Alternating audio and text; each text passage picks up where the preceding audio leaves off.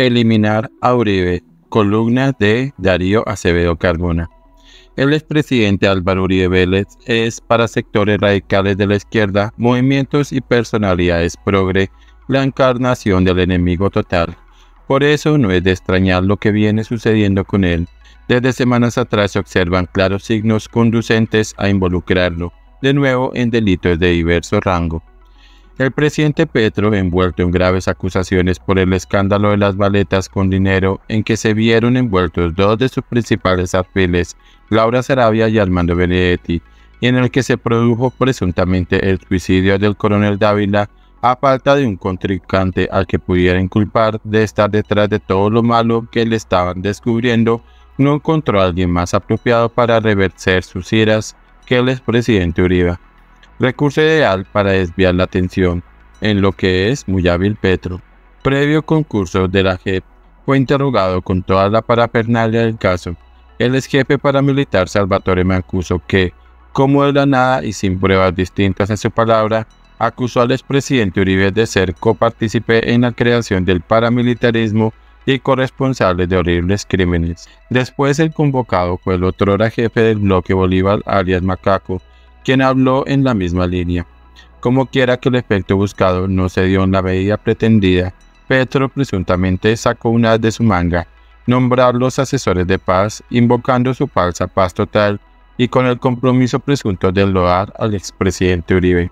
En la medida en que los escándalos del presidente Petro se incrementan y adquieren tanta gravedad como que podría iniciarse un juicio político en el Congreso, creció la necesidad de hallar un personaje en quien descargar el peso de las tragedias del país, y como en sus viejos tiempos su brújula le señaló que había que retrotraer a Uribe como sparring. Recordemos que Uribe visitó a Petro una vez electo para manifestarse que él haría con su partido, el Centro Democrático, una oposición basada en argumentos y que no apelaría a la confrontación personal. Uribe ha sido fiel a ese compromiso hasta el punto de sufrir en principio el beneficio de la duda y hasta críticas fuertes de personas que lo han apoyado. Pero Uribe no es un líder que se quede quieto y sea ajeno al acontecer político.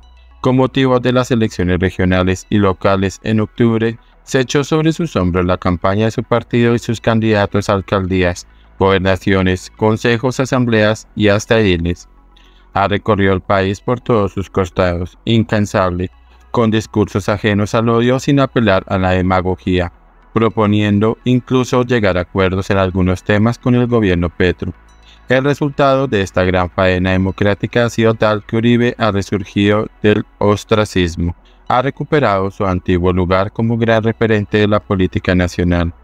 De modo que estamos en presencia de un fenómeno en el que la imagen de un Uribe recargado crece en la misma proporción en que cae la del presidente Petro por motivos de amplio dominio. Y es en este punto precisamente en el que contra toda lógica jurídica y a contrapelo de la no comprobación de las pruebas en su contra y del reconocimiento del Tribunal Superior de Bogotá de tal insuficiencia que el expresidente Uribe es llamado a juicio en el caso que lo enfrenta a uno de sus más enconados enemigos y verdugos, el reconocido vengador de la izquierda senador Iván Cepeda.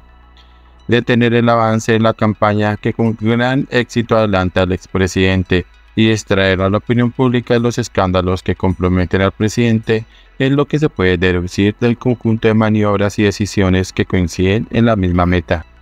Provocaciones como las del intelectual Progre Primi quien cree tener el derecho de insinuar responsabilidades criminales al expresidente y estar a salvo de que le respondan.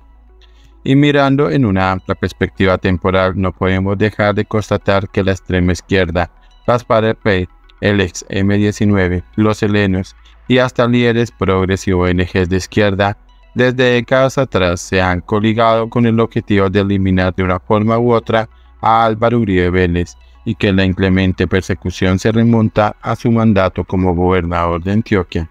Tal parece que en nuestra Colombia no existiera la presunción de inocencia para Uribe y sin cambio la presunción de culpa. Se notan las consideraciones de magistrados que han invertido el principio de que quien debe demostrar la culpabilidad en primer lugar es el acusador demandante y no su esencia el acusado. No es casual que en días recientes el gobierno y otros de sus defractores hayan aprovechado el tema de los falsos positivos para cerrar el seco contra el expresidente y eliminarlo políticamente por vía del montaje judicial. A lo trataron de asesinar varias veces y no pudieron. Lo quisieron sacar del juego político a punta de groseros debates en su contra, propiciados entre otros por Petro y Cepeda. Organizaba mitines insultantes en todas las ciudades de países que visitaba como presidente, pero no lo obligaron. Un magistrado lo hizo encarcelar como si Uribe no hubiera atendido todos los llamados de los jueces. Ha sido y es objeto del odio más enardecido en las redes mamerto-comunistas, petristes y progre, en ambientes intelectuales de marxistas de todos los colores. Sus enemigos predican el amor al prójimo, a la vez que desencadena furiosos ataques y amenazas de guerra contra él y sus seguidores.